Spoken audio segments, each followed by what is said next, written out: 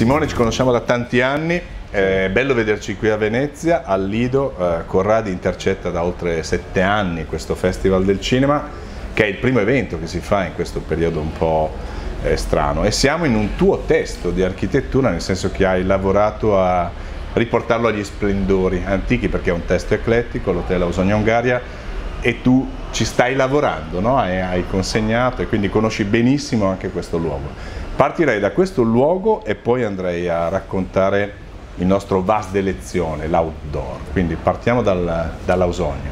Ausonia, due battute, è un luogo estremamente iconico, eh, storico, dove tante stratificazioni eh, lo rendono performante, magico, perché c'è una facciata, come tu sai, straordinaria, Tilson nella parte dietro, gli interni firmati da noi, dove poi le foto, le, le grandi affiche sono di Maurizio Marcati, per cui un altro grande artista certo. della fotografia. E tutto l'insieme parla di unicità, di differenza, di meraviglia e permette all'ospite di portarsi via un ricordo di questo luogo straordinario. Quindi del cinema in un certo senso, sì. perché è Lido di Venezia lo colleghi al cinema. Ci interessa un tuo punto di vista, ne abbiamo parlato anche altre volte, di questo luogo che non ha più confini, o meglio, ha confini che cambiano, che è l'outdoor, no? nel tuo progetto sia diciamo, domestico, dell'accoglienza, dell dell'ospitalità, ma proprio la tua idea di come stia cambiando questo campo di prova del progetto. Alla luce di, di tutto il casino che ci ha attanagliato ne, negli ultimi mesi, eh, tutto sta mutando, eh, il mondo non cambierà, tornerà alle sue regole, però eh, un'attenzione al mondo esterno è ancora più forte.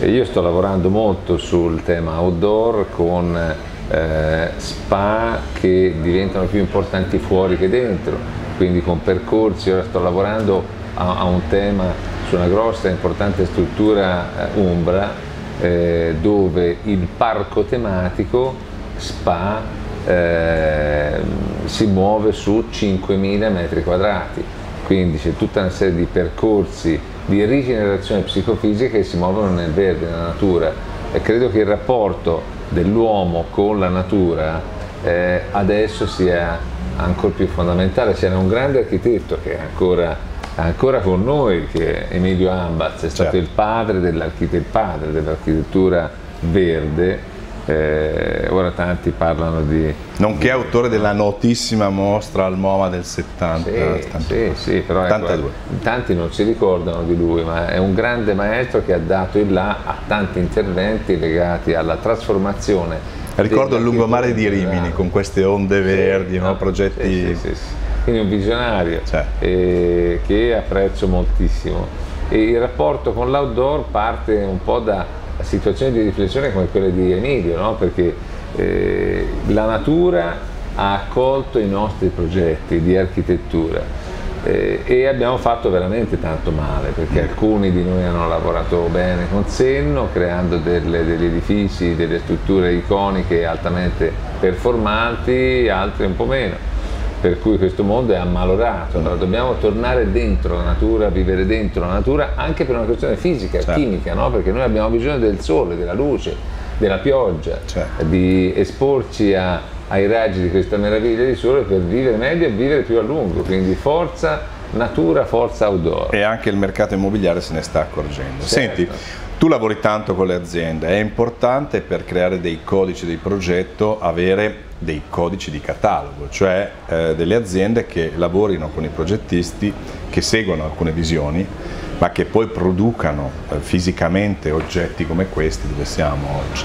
Allora, hai detto sto lavorando sull'outdoor, piacerebbe capire, sapere senza fare nomi, ma su che tipologie stai lavorando e quanto le aziende che hai sempre conosciuto e portato in eh, determinati successi e, e riconoscimenti ti stiano seguendo in questo momento.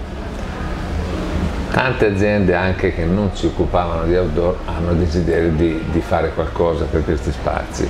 Io sto lavorando sul prodotto industriale con molte aziende che hanno materiali materiali naturali a polimeri plastici, eh, materiali eh, legati alla rigenerazione della materia, eh, da strutture a oggetti minimi ehm, fino a parlare di eh, outdoor in termini architettonici, quindi una globalità. Sai che io amo creare delle situazioni spaziali involucrate, involucranti, ma che abbiano eh, identità e portino fuori sempre il mio segno che è un po' rotondo perché amo la natura, amo come te le fanciulle, anche se sono un devoto, come tu sai, la moglie che eh, è sempre presente con la sua meraviglia, per cui tutto parte, parte, un po' da lì. No?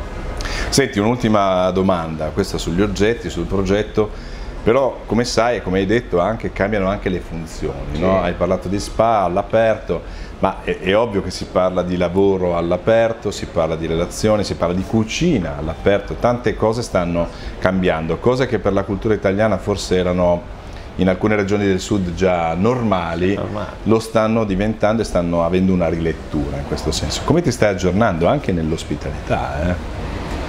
Eh, ti ripeto, sto eh, cercando di ritornare dentro la natura per costruire nuovi codici che eh, rispondono ai quadri esigenziali che ci stanno intorno, eh, recuperando spazi dimenticati, perché tutto ciò che noi sviluppiamo all'interno di spazi, se pensi bene, può essere sviluppato all'esterno.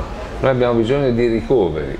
Ho finito un lavoro interessantissimo a, eh, che tu conosci a Matera, Certo. Ho lavorato in spazi dell'anno 1000 dentro queste grotte straordinarie scavate dall'uomo per proteggersi dalle intemperie. Con l'emigrazione, perché una volta Matera era dall'altra parte sì, del, sì, del, canyon, sì. diciamo così, poi no, sono stato recentemente. Però quindi... nel Sasso Caveoso, cioè questi luoghi erano fatti eh, dall'uomo per proteggersi dalle grosse intemperie, però appena finito quello che doveva finire l'uomo usciva fuori, quindi certo. noi dobbiamo riappropriarci di questi spazi esterni con vigore cambiando eh, certi dati numerici di gestione logistica per far sì che gli spazi esterni eh, diventino un continuum straordinario, funzionale di ciò che accade dentro. Senti Simone, non voglio perdere un'occasione, tu hai scritto libri, sei anche un teorico, hai lavorato tanti anni in università con i grandi maestri, voglio, vorrei farti una domanda secca e mi piacerebbe avere una risposta secca, visto che parliamo